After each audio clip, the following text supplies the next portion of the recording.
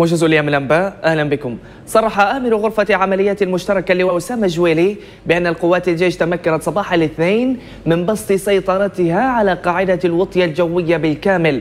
جاء ذلك بعد عملية عسكرية كبيرة ومدروسة تمكنت خلالها قوات الجيش من دحر الميليشيات المعتدية وتكبيدهم خسائر فادحة في الأرواح والعتاد. بدوره نفذ سلاح الجو الليبي لحد عدة ضربات على قاعدة الوطية استهدف خلالها آليات وذخائر لميليشيات مجرم الحرب حفتر. وبحسب المتحدث باسم الإعلام الحربي عبد المالك المدني فإن الضربات استهدفت أيضا مبنى القيادة داخل القاعدة ما أسفر عن وقوع سبعة عناصر من الميليشيات المعتدية بين قتيل وجريح. صرح الناطق باسم الجيش الليبي عقيد طيار محمد جنونو أن سلاح الجو استهدف فجر الاثنين منظومة للدفاع الجوي روسية الصنع من نوع بانستر بالقرب من مطار السبعين جنوب مدينة سرت.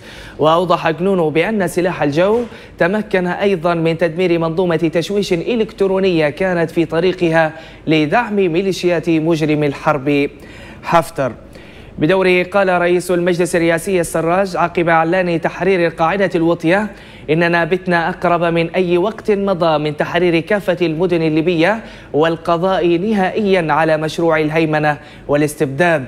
وأثنى السراج في بيان له الاثنين على دور قوات الجيش الليبي البطولي في استرداد قاعدة الوطية بالكامل بكل كفاءة واقتدار مستذكرا دور وتضحيات الشهداء في تحرير الأراضي الليبية. بهذا الخبر انتهى الموجز. إلى اللقاء.